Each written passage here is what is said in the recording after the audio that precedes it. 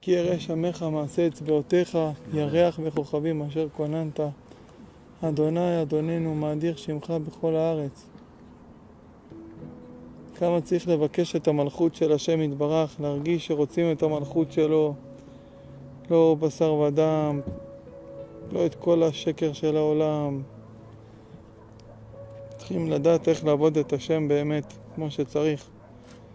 ביישוב הדעת, בלי להיות מבוהל, מבולבל, להתבונן על גדולת השם, לא להתבהל משום דבר, לא לפחד, אסור להכניס פחד בלב משום דבר, ליראה רק את השם הנכבד והנורא, ולעבוד אותו בנחת, בלי לחץ, בלי בהלה, לאט, ביישוב הדעת, שמגיעים לעבודת השם ברוך הוא צריך להרגיש שיש את כל הזמן שבעולם ואת כל הסבלנות שבעולם ואת כל ההנאה, להרגיש שזה שורש וכל הטובות וההשפעות.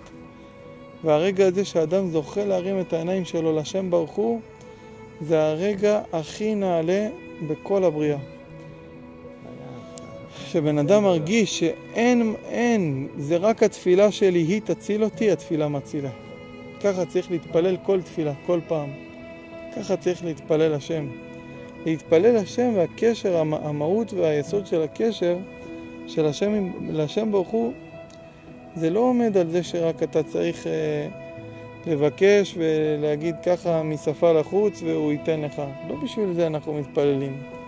אנחנו מתפללים בשביל להראות לשם ברוך הוא שכל החיות שלנו וכל מה שיש לנו זה נובע מהתפילה. זה להראות לשם שהקשר שלי אליו והתפילה זה הדבר הכי חשוב בעולם. ושמרגישים ככה תפילה, אז הכוח שלה הוא פורץ ועולה עד אין שיעור, לאין שיעור. לכן חשוב תמיד כשמתפללים להרגיש כאילו זו תפילה אחרונה של האדם. צריך להבין שהישועה והתפילה יכולה להיות עכשיו, ברגע זה ממש, עכשיו, עכשיו, ולא לצפות לה שהיא תוליד איזה ישועה לאחר זמן.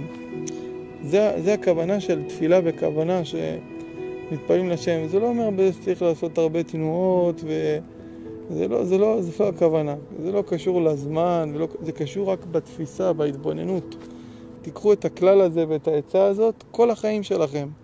מה שלמדנו עכשיו, כל החיים, לכל תפילה, לכל מזמור תהילים, בכותל או בכל מקום, תיקחו את זה ותעבדו עם זה את השם ברוך הוא. התפיסה הזאת לבד תועיל לזה שאדם יהיה לו מחשבות קדושות, יהיה לו סייעתא דשמיא, הוא יתפלל במחשבה קדושה, במחשבה טהורה, ושמתפללים לשם ומרגישים שזה הקשר היחידי עם השם ברוך הוא, וזה כל החיות והמהות שלי, זה עומד על זה.